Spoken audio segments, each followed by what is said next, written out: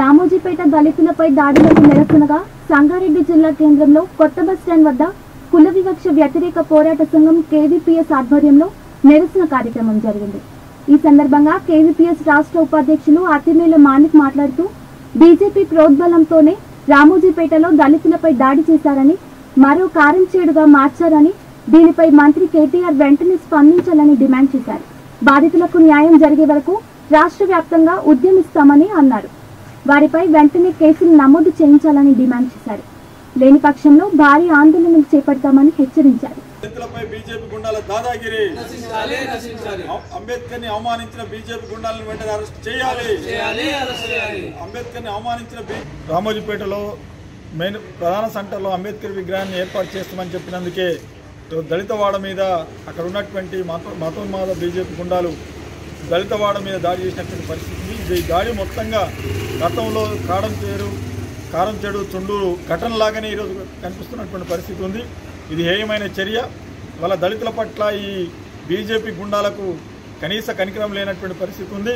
ఇవాళ దళితుల ఓట్లతోని గెలిచినటువంటి బీజేపీ మోడీ ఈరోజు దళితులకు వ్యతిరేకంగా దళితుల మీద దాడులు చేస్తున్నటువంటి పరిస్థితి కనిపిస్తూ ఉంది. వాళ్ళ దేశంలో బీజేపీ అధికారంలోకి వచ్చిన తర్వాత మోడీ గారు రెండోసారి అధికారంలోకి వచ్చిన తర్వాత ఈరోజు దేశవ్యాప్తంగా దళితుల మీద పెద్ద ఎత్తున దాడులు జరుగుతున్నటువంటి పరిస్థితి ఉంది. అనేక చోట్ల దళితులు ఈరోజు మంచిగా ఉంటే సహించలేనటువంటి పరిస్థితి ఉంది. కార్లు నడిపినా ఈరోజు అడ్డుకుంటా ఉన్నారు. వాళ్ళ పెళ్ళిళ్ళు చేసుకొని ఊరేగింపులు చేస్తే వాటిని అడ్డుకుంటా ఉన్నారు.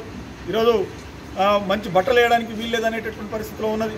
మరి తిండి ఏం తినాలనేటటువంటిది కూడా వాళ్ళే చెప్పేటటువంటి పరిస్థితిలో ఈరోజు ఉంది. చివరకు అంబేద్కర్ విగ్రహాన్ని ఈరోజు ఒక గ్రామంలో ఏర్పాటు చేస్తామని చెప్పేసి అక్కడ ఉన్నటువంటి దళితులు యువకులు ఇతర సామాజిక తరగతులందరూ కోరుకుంటే దాన్ని కూడా సహించలేనటువంటి బీజేపీ మతోన్మాద గుండాలు ఈరోజు పెద్ద ఎత్తున దళితవాడు మీద దాడి చేసి పిల్లలు అనకుండా మహిళలు అనకుండా అక్కడ ఉన్నటువంటి దొరికిన వాళ్ళు దొరికినట్టుగా ఈరోజు తీవ్రంగా కొట్టి గాయపరిచినటువంటి పరిస్థితి ఉంది.